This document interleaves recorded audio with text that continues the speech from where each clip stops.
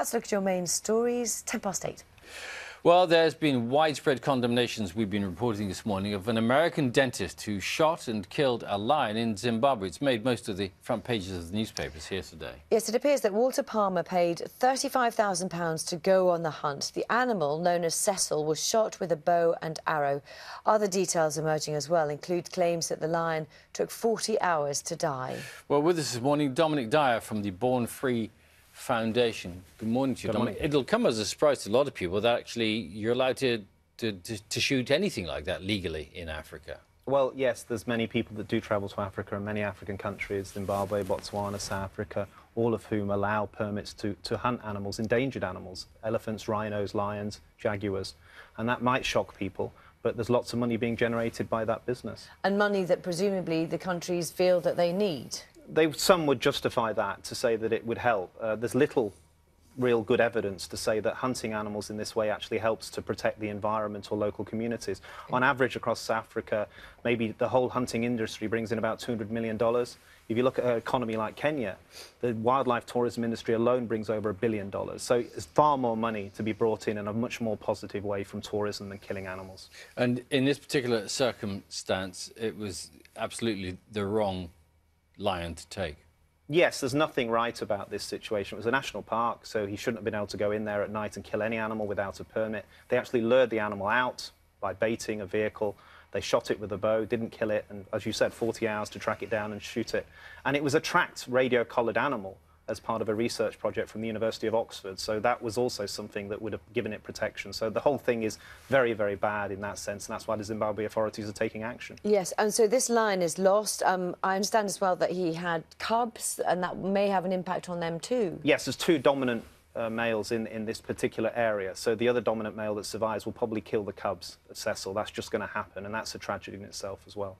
The uh, American dentist who, who shot him did it with a bow and arrow. Is a lot of that sort of thing going on? It doesn't seem particularly humane way of. It's a common hunting practice. Um, hunters in North America particularly use bows. They say you can get very close to the animals. They will hunt polar bears like this, so not just lions. Um, and it's something that's becoming more common in Africa. We're also seeing new canned hunting operations established in South Africa, for example. Canned hunting, Yeah, this is where you farm lions, uh, and there's about 150 operations in South Africa now, over 5,000 lions being bred in very intensive, cruel circumstances, which brings the cost down. It becomes cheaper, and then more people can come in and do it. So we're very worried about that business as well. OK, so what, from your point of view, um, would be the best ways of trying to stop what seems to be an industry in some ways?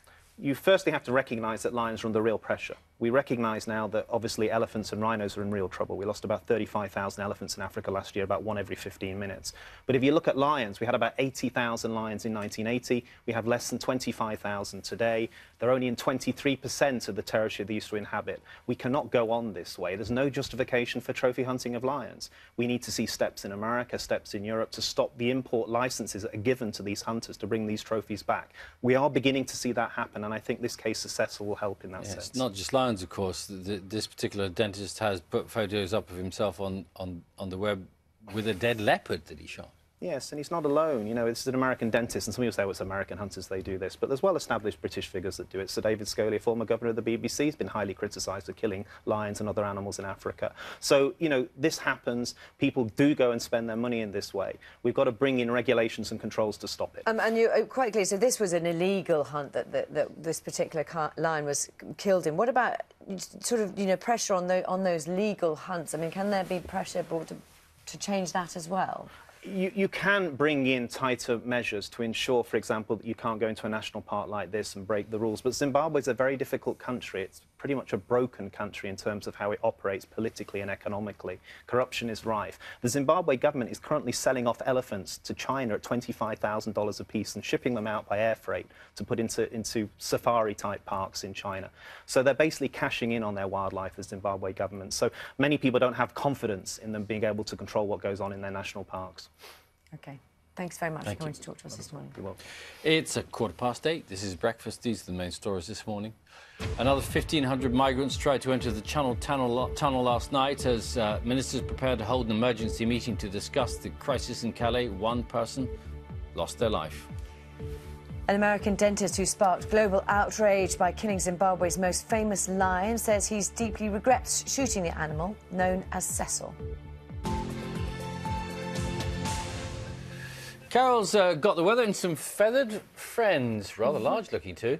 they are too. Good morning. Yes, I want you to draw your attention though to the sky here.